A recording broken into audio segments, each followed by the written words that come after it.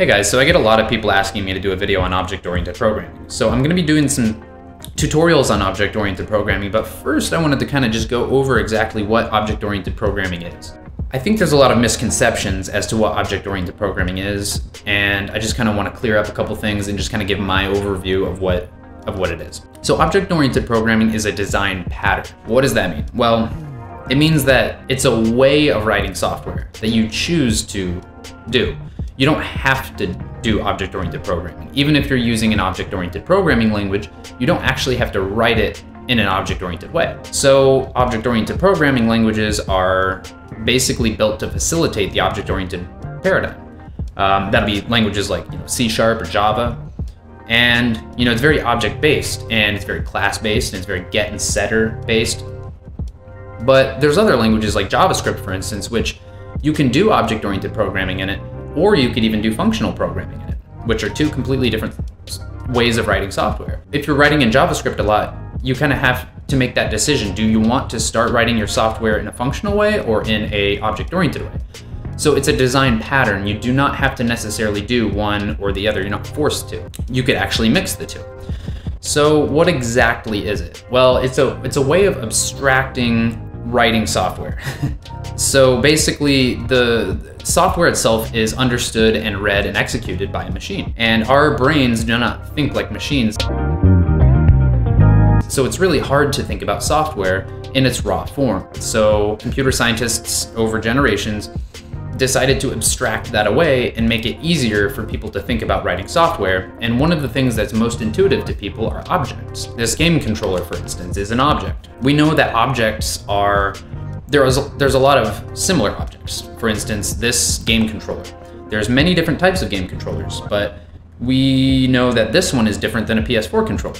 So the idea would be this specific game controller belongs to a class, and the class would be called game controllers. And this specific one is an instance of the game controller class if we're talking in terms of software. So this controller is an instance of the game controller class, and we would call that an object. An object is essentially an instance of a class. The game controller class might have something like a color, um, a console it belongs to, a list of buttons and functions for each button. When we make a specific instance of that, that would be the object. So let's say the game controller class, you have to define a color. Well, in this case, when we create this specific object, we would say the color is white. And then we would have an X button, a Y button, a B button, an A button, etc. It's a specific instance of the class, and we would call that object. So this is an object. Class would be the game controller, the whole umbrella term spectrum of game controllers.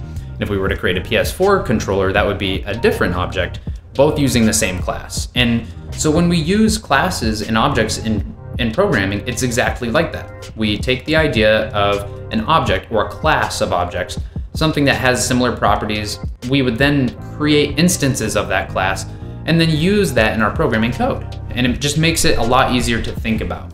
But I just wanted to take a minute to kind of go over what object-oriented programming is and then kind of also take a quick second to talk about functional programming. So functional programming is a different way of designing software where you don't mutate data and each function is pure. And what that means is whenever you call a function, it's always gonna return the same thing if you give it the same value. Now that's not the case a lot of the times with object-oriented programming because you know you may do an HTTP call in, in a uh, function and it returns something.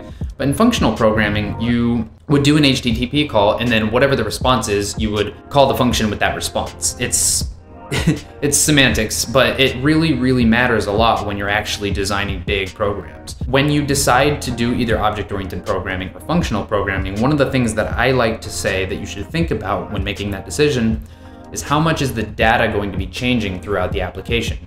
If you're just going to be getting data from a database and then setting data in a database, just getting and retrieving and setting, sending it back and just displaying information on a screen, then I would say object-oriented programming is the way to go.